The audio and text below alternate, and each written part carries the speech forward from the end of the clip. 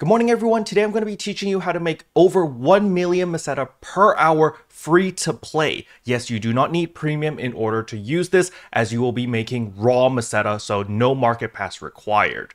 But before we jump into all of that, if you're new to the channel, I upload NGS content daily, so if you do play this game, I would really appreciate a subscribe as it really helps out the channel. Anyway, without further ado, let's begin the video.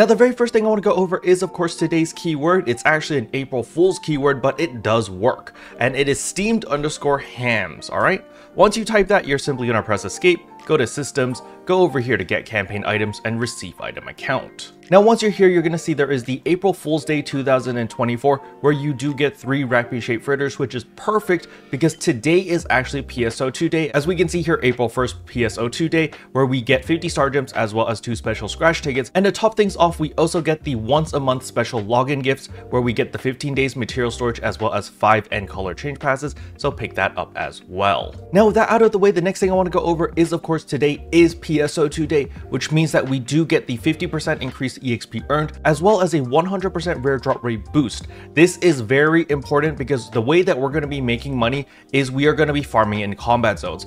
Now, before you guys think, oh, you're just gonna farm in Retem Alnoth. No, Retem Alnoth is no longer the king. It has been overtaken by Dex Base. Dex base only has one difficulty, all of the mobs are level 65, and you are going to be farming here for PSE bursts, and you will make minimum 1 million per hour to 1.2 million, depending on how geared you are and how many people you're playing with and how efficient you're doing things, but this is absolutely amazing.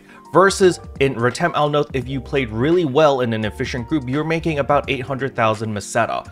So how on earth are you making 400,000 Meseta more per hour? Well, it's actually super interesting because as you can see over here on the top line, this is my dex base. This is a PSE burst all the way to the end right here after we kill the elite. And at the bottom line over here, which I'll drag up here, this one is actually Retem Alnoth all the way. This is our entire PSE burst. Now you're going to notice that I put a cut right here. And this is because this is when the PSE burst climax happens. And this is when the boss spawns. However, in the B-roll over here, you can see this is the dex base footage. And when we put it at the exact same cut on when Retem Alnoth's PSE burst ends, you can see we still have a little bit more of the PSE burst gauge, and it actually ends here. So as we can see here, this is the PSE burst climax in Dex base. And if we look at this time right here, that is an additional 10 seconds of PSE burst. So if you are farming in Dex base, every time you get a PSE burst, you actually get 10 seconds more. Now, of course, you know, using my editing software to showcase this might seem a little bit confusing. So what I'm actually going to do is I'm going to make your life easy. I'm going to put a side-by-side -side comparison with a timer to just show you how long it takes to finish a PSE burst in Retem Alnoth versus how long it takes to finish a PSE burst in Dex Base. And you can see from this side-by-side -side comparison right now that it is 10 seconds longer in dex base. So that is one of the main factors on why dex base is better than Retem Alnoth because every single PSE burst you get, you get 10 seconds longer to kill more mobs, which generates more raw Meseta. Now, of course, if you have the auto sell feature, you're gonna make even more money because remember, the auto sell feature, you can stack Meseta gains on top of that. All those Meseta multipliers or boosters that you have, it actually applies to all the items that are auto sold versus if you sell them manually, that Meseta gain does not apply to items which are sold manually. So this is a little bit of a pay to win edge that you can take advantage of if you do have uh, the auto sell feature. Remember the mission pass actually gives you a bunch of them. So if you haven't been using them at all, you should have quite a few. As you can see here, I do have 21 auto sell items for one hour. So if I pop all of these, that means I actually get 21 hours of auto sell. Keep in mind that this does tick down when you are logged off, so you don't want to waste these. You kind of want to use them an hour at a time. Personally, I like having them like this because that way it's not like the 24 hour booster where you pop it and it's like, oh, I have to commit. So it's very important to take full advantage of this because remember, when you do have the auto sell enabled, every time it auto sells any trash items while you're farming in a PSE combat zone or just anywhere, the end Meseta earned plus 50%, 25%, whatever will also apply to those items so you make even more money. Alright, with all of that said and done, the next thing I want to talk about is going to be gear. The gear itself, I do recommend LC capsules plus Tyrell capsules. This is pretty much the bare minimum that you should be going in.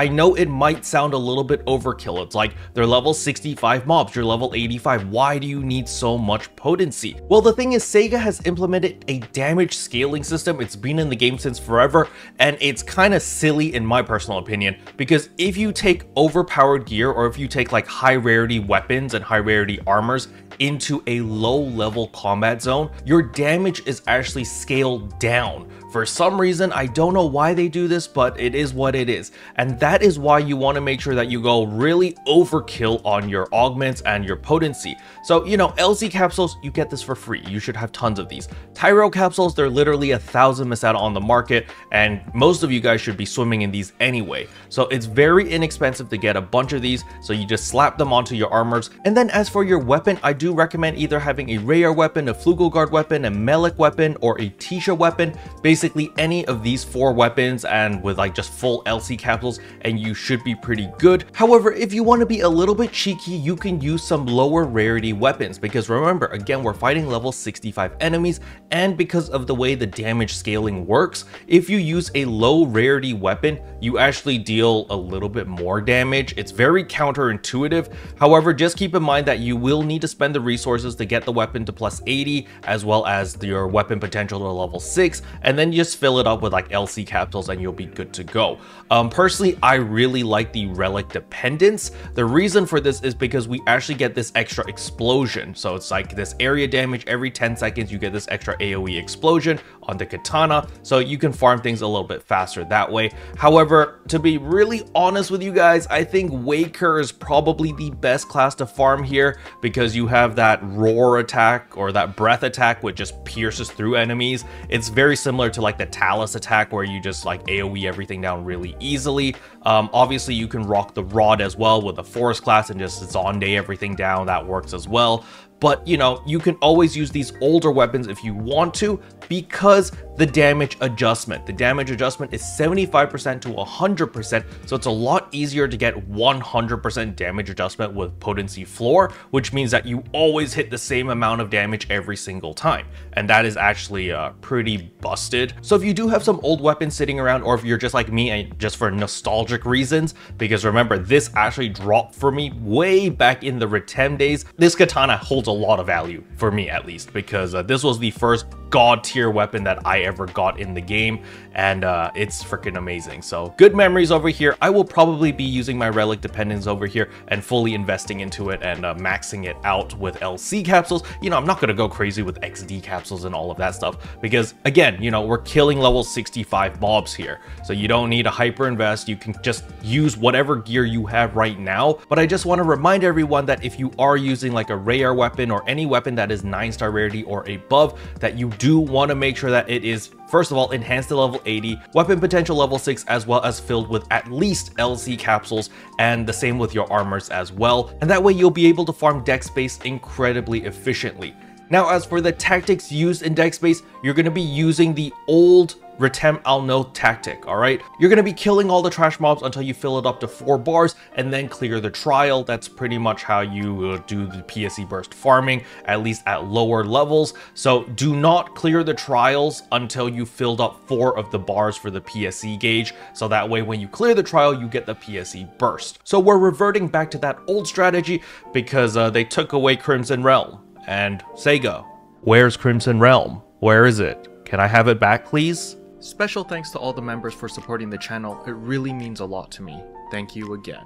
But yeah, that's all I wanted to cover in today's video. Hopefully you guys found it helpful. If you did, I would appreciate a like and a subscribe, and I'll see you guys in tomorrow's video. Bye!